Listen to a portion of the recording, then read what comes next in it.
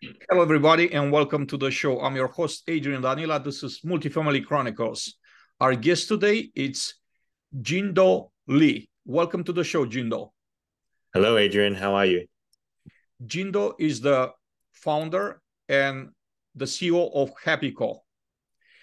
Jindou, to begin this episode with, please tell us a little bit about yourself. Walk us through your journey a little bit. Yeah. So um, my I sort of grew up in Australia, so uh, you know I don't have the typical uh, surfing look, so to speak. Uh, but I grew up in Australia. My my parents were uh, immigrants from Singapore. Um, you know, my my my dad essentially works a lot of. He was a printer by by trade, so you know, very blue collar family. Um, and that will probably hopefully come back into the story later on. Uh, but we didn't grow up with a ton of money. You know, I think we were kind of mm, in initial early years was sort of below middle class, and then eventually they moved their way up to middle class. um, but uh, I, I studied graphic design at university, so I you know I actually grew up in a place called Darwin. So Darwin is uh, if you think of Crocodile Dundee, that's basically Darwin. And then um, for my college years or university years, I moved to Adelaide for for college and studied graphic design. Um, you know, I didn't really have. Uh, I didn't even know what I really wanted to do. To be to be quite frank, I the only one one regret I have is I wish I was a soccer like a professional soccer player, um, which I didn't. I didn't make. I only got to like a semi-professional level. Got paid just enough to you know, buy a few beers at the pub. Um, but but really, I studied graphic design um, because I was I had an interest in computers. I love you know building things, creating things, and then I was using Photoshop in, uh, you know, just the, the years before college. And I'm like, oh, this is really fun. And someone said, oh, you know, you can create a career out of this. And I'm like, what? Using Photoshop to make things? And they're like, yeah. And uh, so that that began the sort of um, yeah me being interested in graphic design as a as a I guess something to study. yeah, so that that's kind of that that back early background. So walk us through the next thing after you know this this experience you know your, your college years and you, you discover graphic design. Yeah. what was next for you?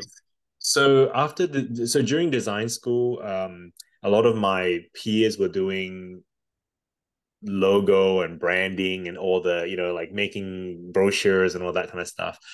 But i really really liked uh, the digital side you know like this is 2000 and 1998 early to 2000 the time frame and I was like, wow, there's this thing called the internet. It's super fun.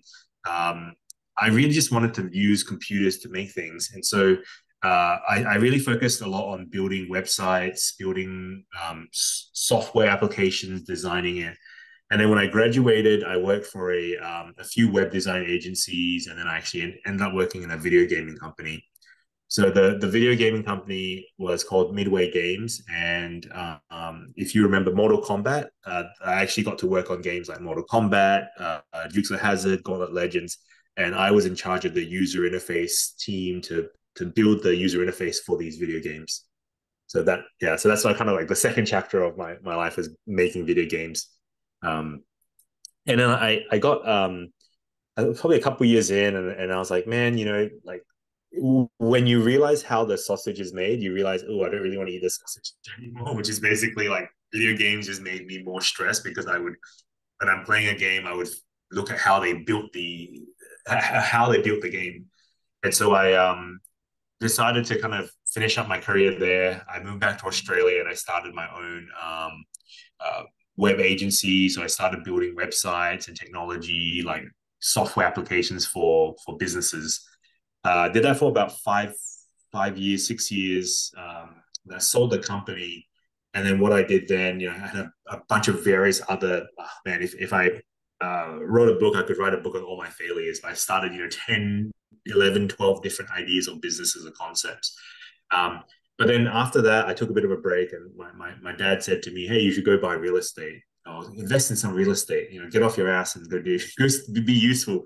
Um, so I started doing that. I started investing in in properties in in Australia, and then in 2010, 11, I started investing in properties in um, Cleveland and Memphis, Tennessee. Uh, so that really kicked off my investing journey, and I actually was really excited to invest in in, in property because um, I remember my first property, I, I bought it and I all I did was just put a, a coat of paint, cleaned up the property, and then the tenants that that moved in at the time, they were so grateful. They're like, oh my god, you know, they were a young family. They were just, I think they just had their first kid, and to me, it was like building a, a space for someone to live in, and and you know, that was like, it felt really gratifying, satisfying as well. So, um, that was sort of my my journey into um, an, an investor. So, as an investor, how large of a portfolio did you end up with? Yeah, so initially I was doing all single family. Uh, so in Australia, uh, we don't have multifamily in Australia, which is a big surprise. Um, you know, we I probably got to about uh, about ten to twelve properties at that stage. Uh, you know, single family, and um, when I started investing in the US, um, it was you know financial crisis time. So you, I was able to buy properties at 20, 30 percent net like cash flow. You know, that was like super crazy. In Australia, you wouldn't get any positive cash flow properties; they're all negative cash flow. So, so that was a like a big moment. I really wanted to transition as much as I could from Australia to the US. Um, and then what actually happened during that process was I had my properties were being managed by um, these third party property managers, and I remember a few of them had these dam- uh, the tenants were that caused some damage and I said, "Oh yeah, we can just you know um, get the the deposits back to fix the property." And the, the manager's like, "Well, we didn't actually document this." and we're like, "What do you mean?" Well, we kind of took some photos, but we put it in this like I don't know G drive that the G drive went missing or blah blah blah.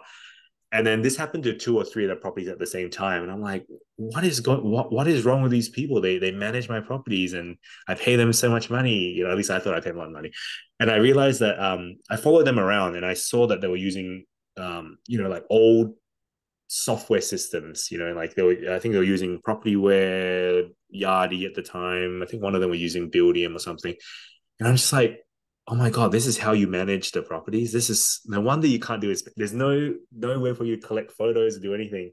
And and so that kicked off the idea, which is like, hmm, maybe I can build an app on an iPad to do inspections.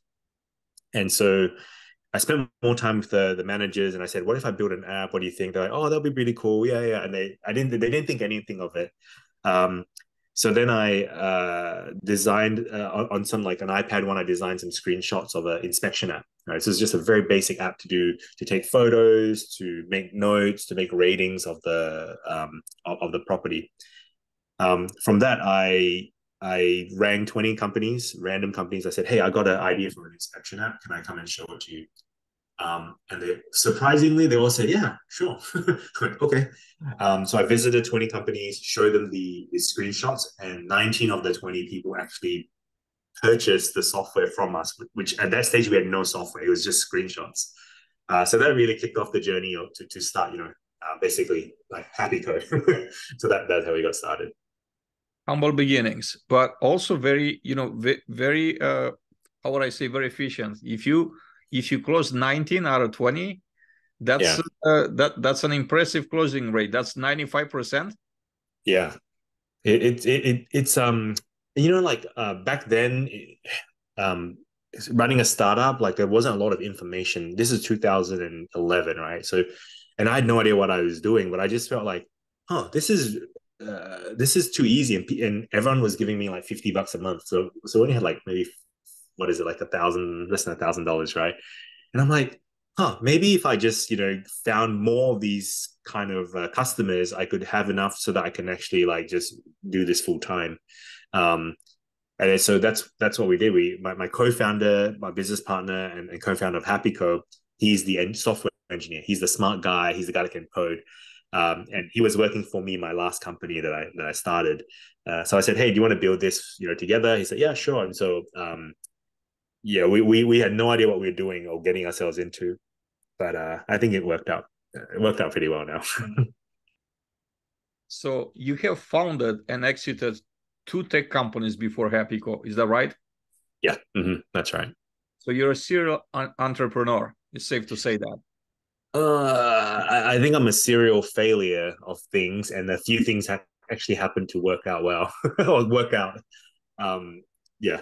I, I want to talk about uh, failure. It, it's extremely yeah. important, and I'm so glad that you're mentioning. Most people uh, don't open up to failure, mm. right? Yeah, I think this makes most in society to look up, you know, someone like you and say, "Wow, you know, he has this. You know, he's successful." They yeah. don't. They're thinking that the trajectory is some like a you know rocket trajectory, straight yeah. out, when everything is like up and down and up and down and up and down. So, what have you learned most? T- tell me about the most powerful lessons that you learned from failure. Oh man, uh, so many, so many like so many lessons, right? Even even today, you know, people will say, "Oh, you run a successful company."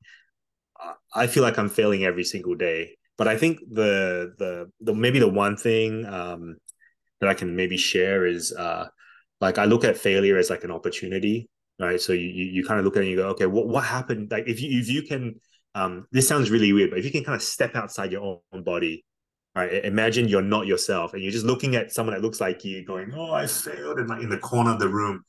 Imagine if you're like someone just saying, hey, why did you fail? And then that person's going, you know what I why I failed was because um, uh, I decided to go build the product without even talking to a customer.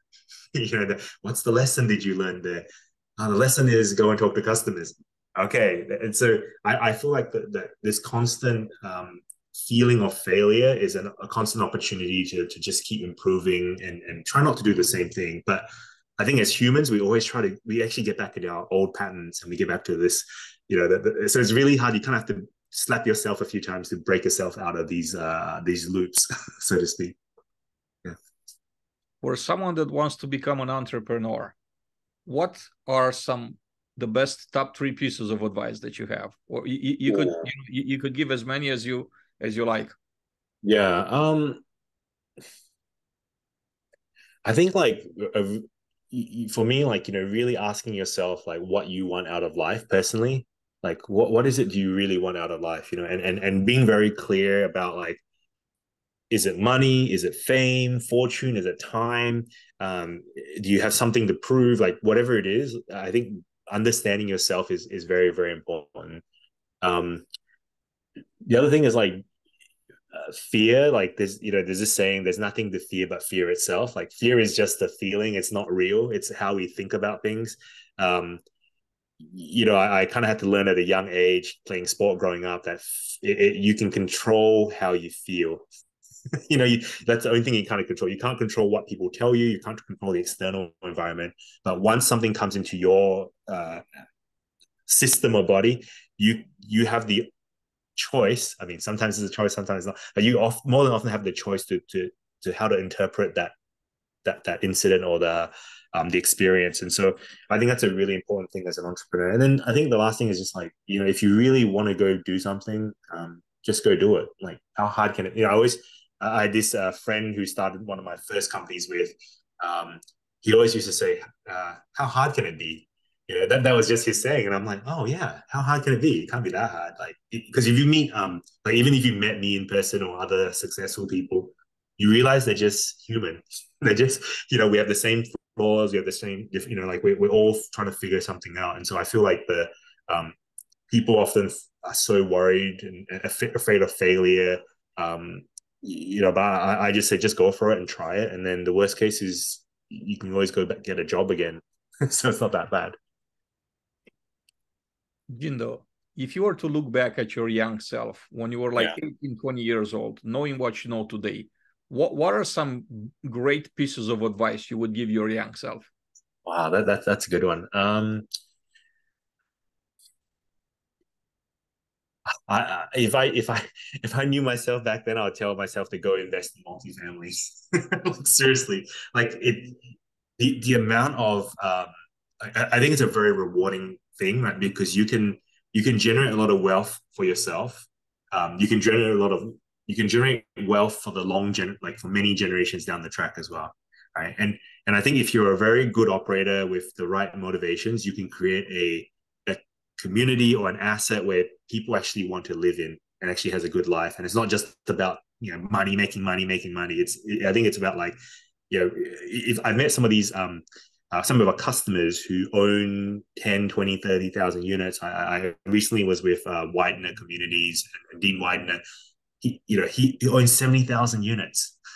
like, like, holy, holy cow, that's a lot of units. And, and just, you know, being able to affect change. A lot of these people are very, have really big hearts. They, they, they contribute back to society. They do a lot of like charity work. And to me, I'm like, if I could tell my myself, like, hey, start in multifamily um, and learn, learn all try to learn as much as you can about money and finance finances. Um, we, we don't I didn't get taught anything about money growing up. My mom and dad weren't that super educated. So um, I didn't get taught anything about money. like no one told me to save money. No one told me to invest money. It, it, things I had to learn along the way. So if I could teach my early self is like get educated about it, learn about it, and then talk to people who are doing really well and and you know get investing tips, financial tips from from those people. Because um, actually, the, the, uh, on the other side of that story is, I remember early in my career, in my life, um, you talk to like people that are close to you, and you try to get finance finance tips from your friends, right? But your friends are poor. And so, so the, your, your poor friends uh, give you finance tips or, or information that is relevant to their perspective of the world. Um, and I remember one guy, he's like, "Oh, don't invest in property." I'm like, "Why?" Oh, because you know, then you're in debt. You owe money and this and and and then he he, he wasn't doing very well. And you know, for a while, I actually listened to him, and then I realized, wait, why? You know, if I wanted to play, be a good soccer player, I'll go find a good coach. I go play with better players. I don't go to the the coach that has never played soccer before. So I think that's a really important thing I learned, which is like try to talk to people that have done what you want to do so it helps you to um you can kind of see the path forward as well yeah hopefully that helps i don't know if that if that made sense one of my favorite principles were you know pieces of advice is don't take advice from anyone that hasn't been where you want to go mm-hmm. yeah i yeah t- totally agree on that one yeah you, you, say you're saying the same thing pretty much using yeah. different words so yeah, yeah, yeah. you you took us to the beginning of HappyCo.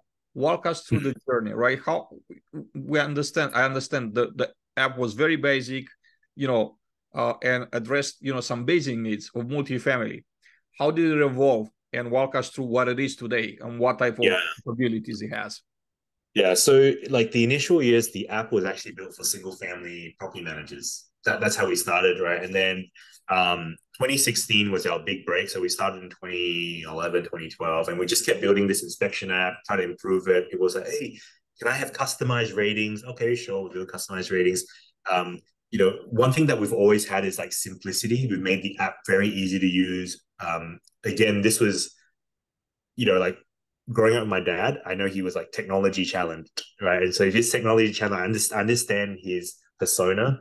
Um, and maintenance is a big uh, user of our software maintenance technicians and you know being an immigrant son um, I, know how how hard it is for for non-technology savvy non-english speakers to use any kind of technology so trying to make sure that the, that app was so simple to use and one example again through failure make it better so the failure was um, i followed one of our very early customers around and this is a maintenance guy and I was looking at him use the inspection app, and he's trying to press the iPad. He's, I don't know what he's doing. And I looked over his shoulder, and I realized that his fingers were the size of sausages. He's a Polish guy, massive fingers. And so he's basically, you know, like he's cussing in Polish, and he's like, "This app is so hard. I can't press the button. It needs to be bigger." And I'm like, "Oh my gosh, that's it." so we made the app bigger. Everything was bigger, um, which you know, so so those are the things when you through failure, you kind of like, what's the opportunity to improve? And so we, we've taken that philosophy, trying to build and build and build. Um, the long story short, we went from an inspection app in single family to 2016, we sold into multifamily. Our first customer had 110,000 units. That was equity residential. And um, we thought hmm, we, maybe we focus on multifamily. So we continue to grow in that space. Uh, uh, today, we have about three and a half million units that use our, our software. And we've in, we've gone from inspections to now we have um, a full work order maintenance platform that does unit turns, preventive maintenance, uh, ongoing in, in, inspections and work orders. Uh, we have a due diligence product, when someone is trying to buy an asset to do unit walks, lease file orders, we have a product for that. We have a capex and renovation asset management tool. So now you own the the the, the asset. How do you manage the renovations? Uh, how do you like you know one of the common problems is as the owner they go how many units have been upgraded of the 200 units how many they're like oh, I don't know let me call the the, the manager the manager says, "Hello, how many of them have you upgraded?" And I just like, oh, I think hundred maybe." And then they have to call the technician. Which how many of they upgraded? Oh, uh, 85.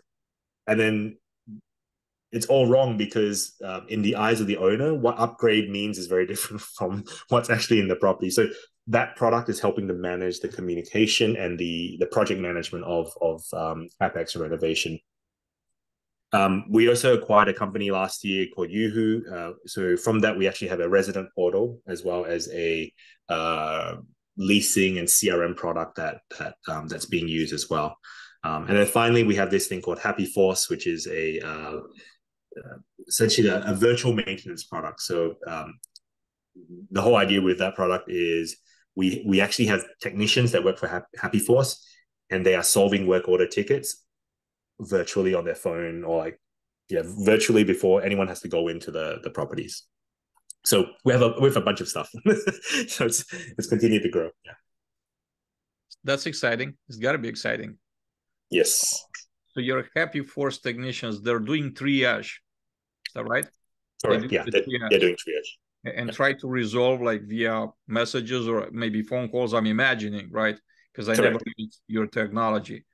Yeah. Um, that's that's that's a very interesting concept you know um you could solve how how many percentage wise when you use HappyCo uh, happy force percentage wise of the work orders how many of the work orders you could save using your happy force team? Yeah.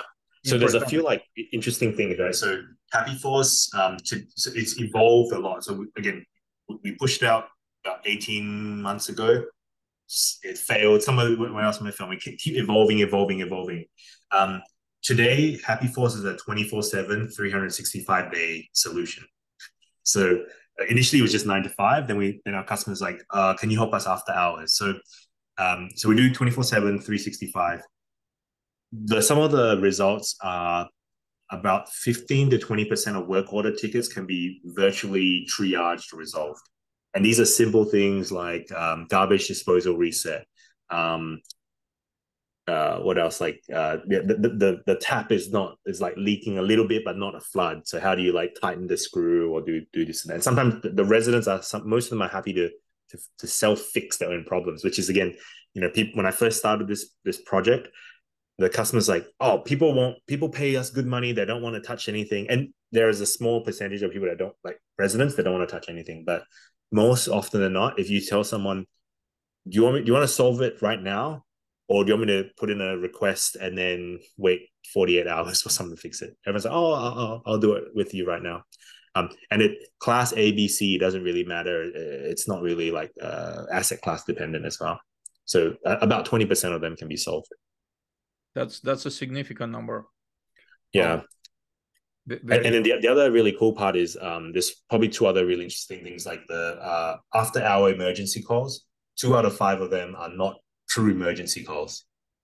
All right, like they they're basically someone saying, "Oh, there's a flood," but what they really mean is like a little trickle of water in the plumbing. Uh, so we can help save time. You know, people like the technician has to wake up. Now they can kind of sleep until there's a real emergency. Then then our team will alert them to come out.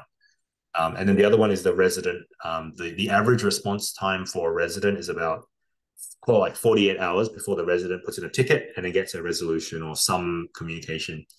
We communicate to the resident within three to seven minutes on average, which which means that there's less work order tickets because they don't put in a second work order ticket. Um, but what it really means is the the satisfaction from the resident is like, oh my god, someone actually got back to me so quickly. That's amazing. So that's a um, yeah, some of the additional benefits that we're seeing. So I'm trying to understand even better how Happy Force works. When a resident texts or calls, are mm-hmm. they the first point of contact always? Triaging, like reading the work orders before he gets to the team, or how, how does it work? Yeah, so the the the work order is either put in through a work order system, maybe through a resident portal, or uh, via like a you know calling calling the the front office. We actually have a uh, IVR, like a call center solution, automatic call center solution. If someone is calling in, they'll say, "Hey, press one for maintenance." So you press one, and if it's an emergency, press one. If not, tell me your issue we actually translate all of the um, speech into text as well. And so now it automatically creates a work order. So that's how you we get the work orders in. Uh, once the work orders are in place, uh, our technicians essentially think of like um, centralization on steroids. So our, our, technicians look at all work orders across every single system in this one database. All right, and then we can go into centralization later on. But uh, the, so now they see everything in one database, and they can kind of sort through the different category, the urgency, the time, and essentially, um, each technician is also assigned to a, uh, a bunch of customers, so or, or uh, assets or, or properties, and they're just looking through and saying, okay, I can do this one, I can do this one. So they start semi-automatically reaching out to the resident via text message or email.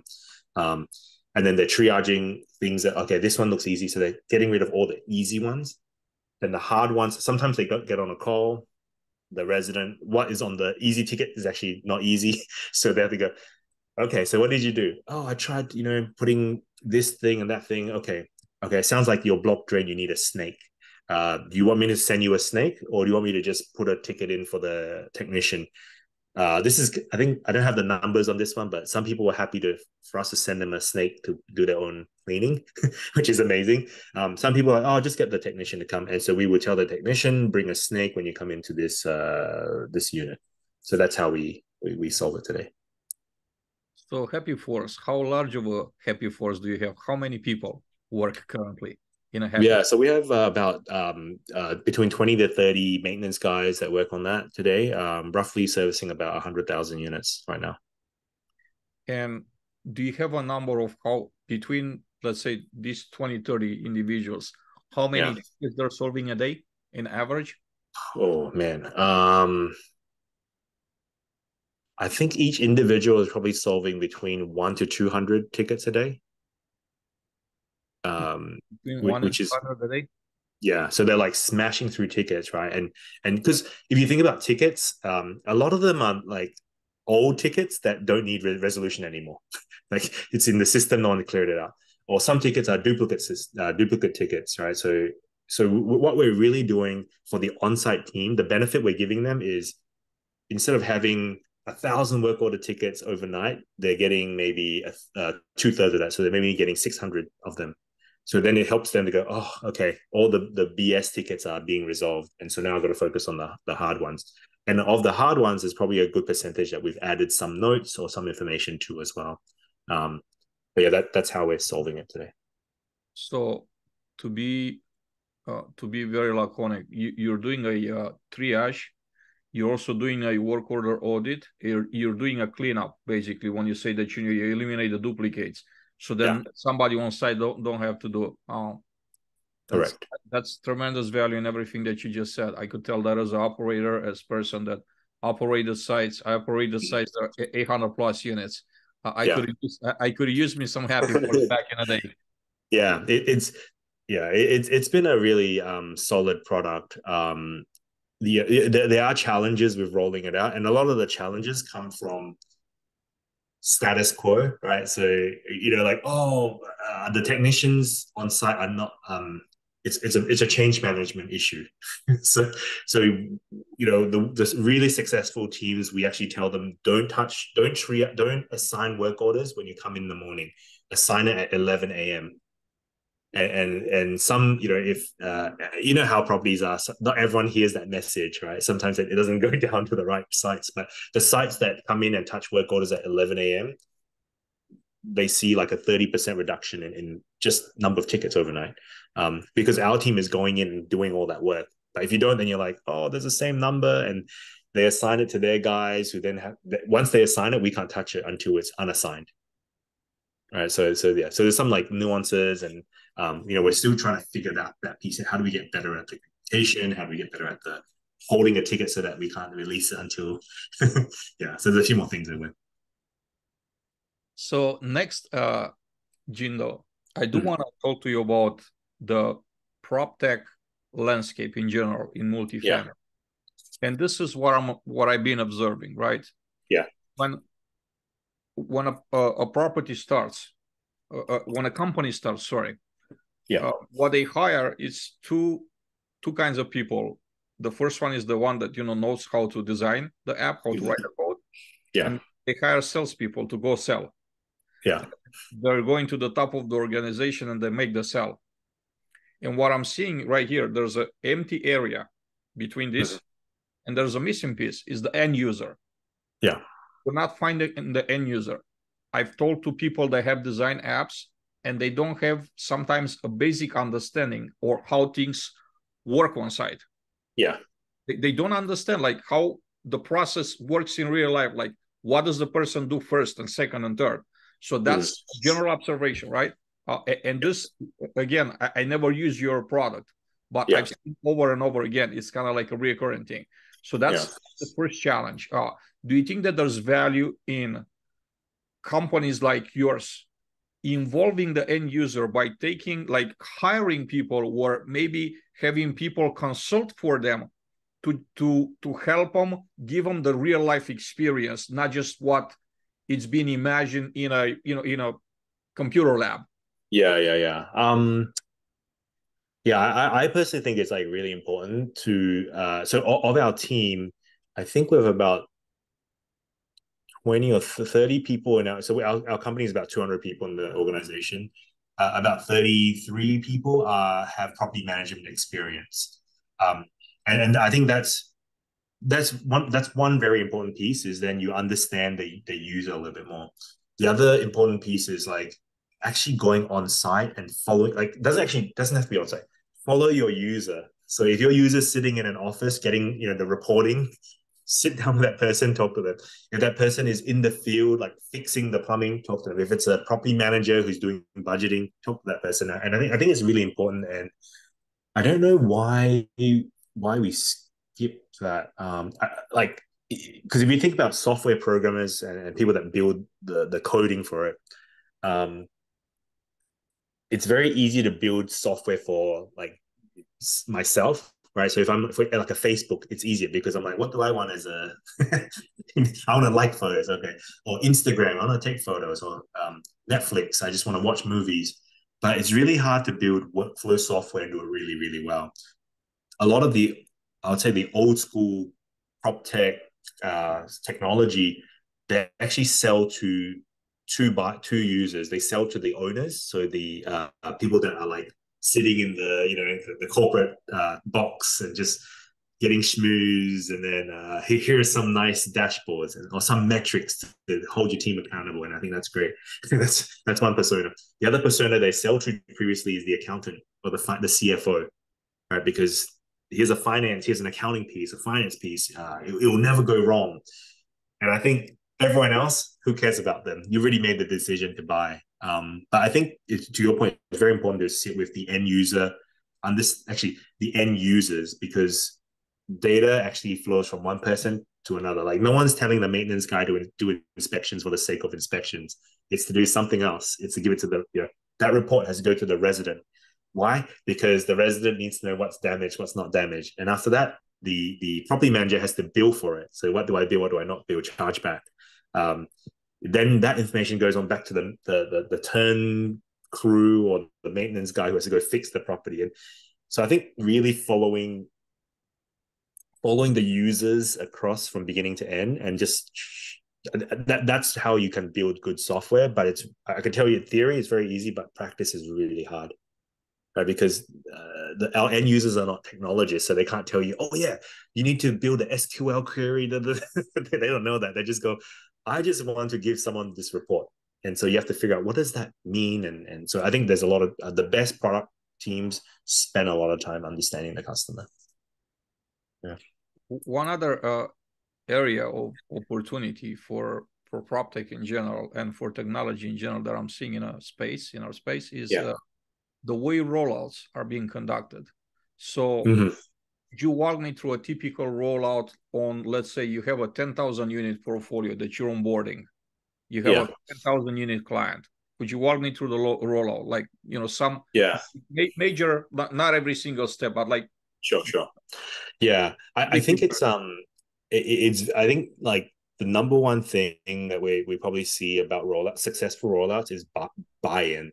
Like buy-in from you want to have an executive level sponsor um, because someone has to like crack the whip, right? Someone has to say this needs to get done, or we're doing this. Um, but then you also need to have like an admin, so someone that is the person actually is the person implementing this thing someone needs to be buying in and typically the exec person gets the admin person to buy in so that's relatively easy then you almost need to have uh, if for our products are very much on-site users whether the maintenance guy regional maintenance on-site maintenance so you almost want to have like people that are end the end user having buy-in as well and i think if you have like those three or four people um, then they become champions of your product ac- across their organization because there's going to be people that say I don't know why why are we doing this thing? Oh, I like how we used to do it. So someone has to, and, and, and if I tell them as a vendor, they'll be like, yeah, you're, you're selling me a used car. you know, like, of course I don't want to buy. But if someone is on site, their own their own friend, their peer saying, you know, hey Adrian, this is going to be so much better. I actually, I'm like you, man. I'm I, I work on site, and I know this has improved my life. So that that's that's the number one number one thing. Um, the, the other thing I think is really important is user interface. And this is a very, again, probably not many people expect it. Um, but the simpler the user interface is to understand, the better it is for the customer and the and the rollout. Um, you know, the well, uh, there's a there's a saying that the uh, a user interface is like a, a great joke. If you have to explain your joke, it's not great anymore. so so yeah, you UI has to be super simple to use. Um, so I think that's that's the other piece. And once you have those two elements, then you have to have people on our team, our customer success. We have these groups called customer success and implementations. We, we try to bring in a lot of industry people to to work in those areas in our business um, because they can speak the lingo. Um, you know, like understand like the, the customer. What is what are they trying to achieve? Oh, we're trying to drive our renovation costs lower, or we're trying to have adoption.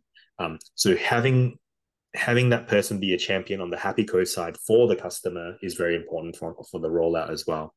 Um, and then I think the, the other piece is having dashboards and, and data that's very easily visible so that the, the client and HappyCo are on the same page. So a common question is like, how many people are using, what percentage of people are using the, the app or the software? And, you know, so having that percentage up. And the next question is, who is not using the software? So being able to show them, hey, these are the people that are using it. These persons are, these people are not using it. So I think if you have those, um, I find that is a typically a very successful rollout um, for yeah for what we see. So going back to uh, a large, like 10,000 unit portfolio, do you find it Yeah. more beneficial to maybe start with a couple of communities or five, a handful, and roll Mm. those in, or would you rather roll everybody in at once? I, I would prefer to roll everyone in at once, but um, we we typically we we kind of leave it up to the the customer. Like we we suggest we actually suggest maybe doing like um, a sample of properties. So we we we want to do some of the best properties you have and some of the worst ones. And, and the reason because we don't want to just go, oh, give me your best technology people. Um, because what happens is the best technology people is not representative of everyone in the organization. We, we actually want dissenters. We want people that say, I hate technology, I'll never use this. This is this is the worst thing. And so our job is to convert those to becoming, oh, this is the best thing. Um, so we try to do on like a, you know, call it five to 10 unit pilot or test or whatever it is. And then once we're successful, then we do probably do like a region by region, portfolio by portfolio. Um, in, in, in quite a lot of cases, we actually from there we just do a full rollout across the organization. Uh, how large? Remind me, how large was your first, uh, your very first multi? What was uh, oh man, equity? uh, equity residential. one? Mhm. It was like one hundred thirty thousand. they had a hundred and ten thousand uh, at the time. Yeah, yeah, yeah. So And remind me, great. how many how many units you have now? we have about three and a half million units right Okay. now. Yeah. So 130, uh, 3 point something. So that's about 30 times. Okay. So Yeah. My next question to you is tell me about scaling, tell me the stories, and how you know tell me about some challenges that you have you know scaling growing and how did you overcome them? Because i think this is yeah. just there are great lessons to be learned right? Not just yeah. in the space but in general in scaling a business. And i would love to hear your story.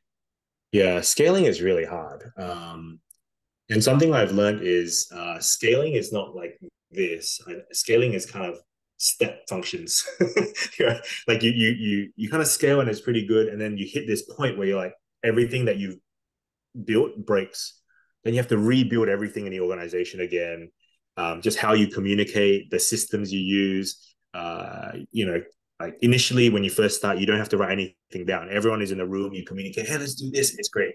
Then you get bigger and you're like okay not everyone's in the room what do we do?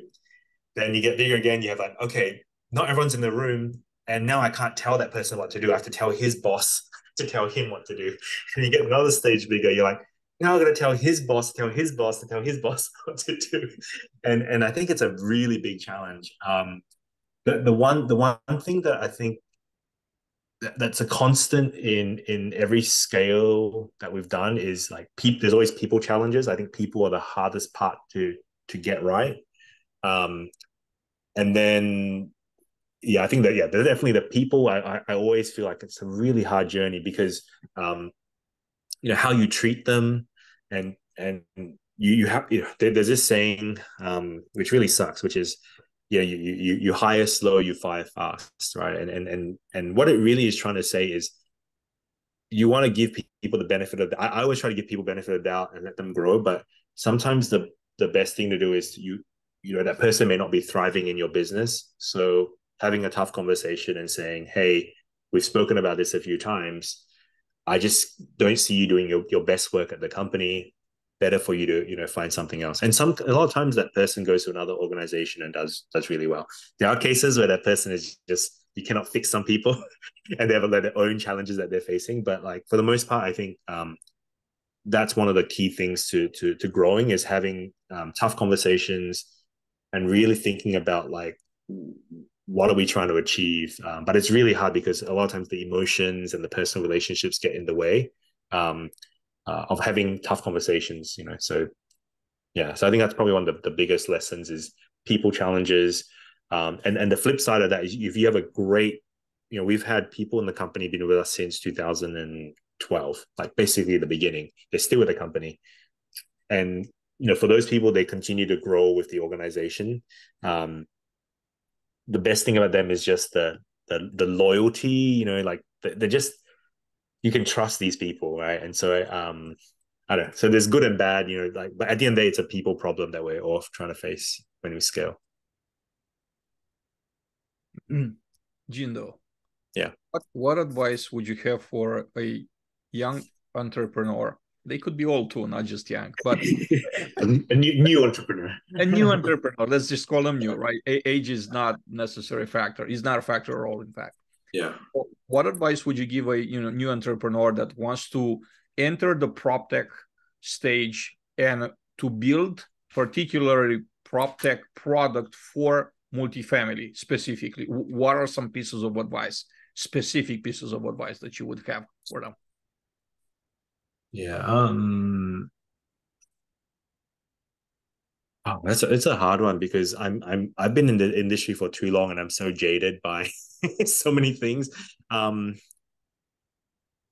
You know, like there's like a few like more generic ones. I get more specific. So a generic one would be like, you know, whatever you do, try to again find what you want to do and and go go in there with the the long term, like play the long game. Don't, don't go in to make a quick buck because this industry is filled with like short term, you know, operators that come in, run it for a bunch of years, and go sell to one of the large uh, existing people in the market, right? And then the the large folks shut it down. They stop putting R and D money in, and then the poor customers are like, we spent all this time trusting you, giving you business so that you can grow, help us be better, and then you you basically like take it away and now we have to go find something else so i think like trying to understand like the, it's the long game. Um, when you think about like just building, you know, spend a lot of time with your customers. And initially, like don't try to please everyone, just please the one or two or three customers that, that you work like potential customers really, really well. once you please one or two or three, you can copy and paste that to please the next four, five, six. And once you please the next four, five, six, you can do the next 10 to 20. And and really that was what we did. We we just did such a great job for equity residential. We rolled out across a hundred and uh, 110,000 units in 45 days. Like I was like, you know, and they were so happy by it. We learned a lot through that. And then the next customer was like a little bit, you know, same. The next customer was easier and easier. And then soon, uh, this industry, if you play the long game, this industry, everyone moves around and they're all going to stay within the industry. So the amount of times we have, um, yeah, customers that move from one, you know, one company to another, and they're like, "Oh, I remember I was using you at this company, and it was amazing." We have a lot of that. That's that's how we've basically grown grown our company. Um, and then the, the last thing I'll maybe point out to that is like and this maybe is that blue collar thing like you know don't don't discount the don't discount the the person at the bottom right like don't don't always you know, i think we always oh we you know I, I i've had salespeople that work for us they're not no longer working for us they'll talk to someone and as soon as they're like oh i'm not a vp i'm like a lowly whatever they dismiss them and i'm like that's really rude. A, a, I always think maybe that's my dad. You know, I mean, I feel bad. It's my dad, but like a lot of these people um, move through the ranks right? They, they, they start off on site, they go become property manager, ask them become like a regional, the regional becomes like a VP, VP becomes like SVP, and one day they become a CEO. So I think it's a, if you're playing the long game, don't discount these these relationships because you just um, you never know, yeah, who you're gonna meet, who who can become what. Like people discounted me when I, I started. they still do. No, but you know, like I, I when people see me, they don't think I I run this company, and and that's fine. But try not to do that. You're absolutely right. I started as a groundskeeper, and you know, one of my the job before I had less before leaving the operations side was vice president of maintenance. So imagine if you know if someone would have like you know mistreated yeah. me, yeah, along the way when I was you know the, at, at, the beginning, you know maybe that wasn't you know the, the best thing for them to do. Yeah. Uh, so look, this comes to mind. How how did you land the hundred and thirty thousand unit deal? What what was what what made them what what made made you close like what made you close this deal? Like what was the closing thing? What was the selling? How did you sell them on this? Yeah, we you know like uh man, it's such a, it's a long time ago. So I don't um you know what, what I don't think we really needed to do too much. Uh, and again, it was that same thing. We were selling to single family. We had um one of our customers was a larger single family manager. I think they previous they had some dealings with with the guys at Equity, and then so they basically was like, "Hey, I've seen your your product work in this space. I wanted to work on our space," and um and I think the you know when we when we showed them the demo, we demoed them. The app looked really easy to use. Um, it solved exactly what they wanted, nothing more, nothing less. Um, we were flexible and like, oh yeah, you wanted to integrate with your your PMS system, yeah, we can do that. You know, like let's do that. Um, and I think like during the contract negotiations, we were we had to be super flexible because it's EQR. so um, I think we would. I think at the end of the day, we just did a great job at just executing and doing that one thing very very well. Um, I don't. Yeah, there wasn't like a secret sauce on on like oh you know we we did this special thing i think we just built built a really good product that solved the problem we could explain the problem really well they they came and told us what the what they thought was the um, roi and this is another thing i learned right so people always say like oh uh what, what's the benefit of your software oh we drive noi and it's like okay, when you tell people what you do, no one believes you because if uh, now I actually own multifamily units, and if if I listen to every single vendor that said that their product will move my NOI, I'll be a multi-billionaire. but I'm still seeing the same results. So I think we just did our thing really well. People liked it. Um, the, the guy was very easy to roll out. Um, we didn't BS them. If we didn't have something. We said we didn't have it, and I think that's how we closed that deal. You, you grew this company to be amazing over 3 million you know end users. I mean 3 million uh, u, u, units i'm sorry. Yeah. That's what helps you keep an edge? There's there's a there's a lot of competition in, in a field. There's a lot coming from behind a lot yeah. of funding, a lot of everything. And technology in itself changes every day. So what Sure. helps you keep keep on edge over the competition, staying relevant? Yeah. Um I, think like, you know, having a bit of paranoia all the time. Like I'm very worried about like I'm worried about the big companies. I'm worried about the the the head-to-head competitors. I'm worried about the new competitors that are coming out with AI and all these things. I think so that that I'm always worried about that. But I always like for me, I I, I really want to make the industry a better place. I really want to improve multifamily. I want to help you know like the the op, the, the on-site user who's making 20 bucks an hour. I want to make his life better. I want to make the his boss's life better. So I I really just want to just improve the industry. We've had many offers from uh, competitors to buy the company, and we've always said no. Right, and so for me, I'm like, it's it's not about to me, it's not about the money. Um, because if it was, then I I would have sold this company many many times already. Uh, to me, I'm like, what if, what if we could just build something that changes the way people work and live? Um, and that to me, like that's that's the exciting part. And then so then I ask myself, how do you change how they work and live? And then then you go, okay, these are the things that they need. And you listen. I, I go around the country eating lots of dinners, listening to people's problems, and hopefully we can solve them as they come up. So that that that keeps me on edge, on the edge. you know amazing conversation. I thank you very much for being a good sport and being here and answering all the questions. Um, in closing, I'd like for you to, you know, say something that you wish you would have said you didn't have the opportunity to say, or to maybe answer a question you wish I would have asked and I didn't. Yeah, so maybe my only, I guess, more of a sales pitch is, um, you know, if if, if your listeners out there and um, you know trying to solve problems, like you know, think of us, think of Happy HappyCo as a long term partner to help solve these bigger problems that you have. Um, the, the as long as I'm part of the company, we're not looking to sell the company. We're not looking to, uh, you, you know, like we- we're just wanting to help solve more problems. So think of us as a long term partner. Um, and if you have problems that you're facing and you think there's a way to make it better, let me know. And, you know, we'd love a discussion to figure out, okay, maybe something we can build or help to improve. Jindou, if someone, one of our uh, listeners or followers wants to get in touch with you, what are some ways to connect with you? Yeah. So if you go to uh, tinder.com slash Jindou, I'm just kidding. No, if you go to, uh, uh, if, you, if, if you, you can find me on LinkedIn, J I N D O U L E E. Uh, I'm on LinkedIn. I'm the only Jindou Lee, I think. Um, you can find me on on on our uh, on email, J I N D O U at happy.co. So I'm, I'm, I'm always around. Jindou, was a real pleasure to have you today. Amazing, very engaging conversation. Thank you for taking the time, Yeah. taking an hour No. out of your busy day on a Friday afternoon uh, to to be here with uh, me and for the audience. Uh, I hope to maybe get you here back soon to do a second episode. I haven't even uh, scratched the surface with I the Yeah. questions that I wanted to ask. I know Thank there's so so there's a lot of stuff that we're working on, and thank thank you again for doing this, Adrian. It was a pleasure. Everybody, thank you very much for watching us. Uh, I'm your host, Adrian Danila, and this is Multifamily Chronicles. We hope to uh, see you back here soon. Have a great day.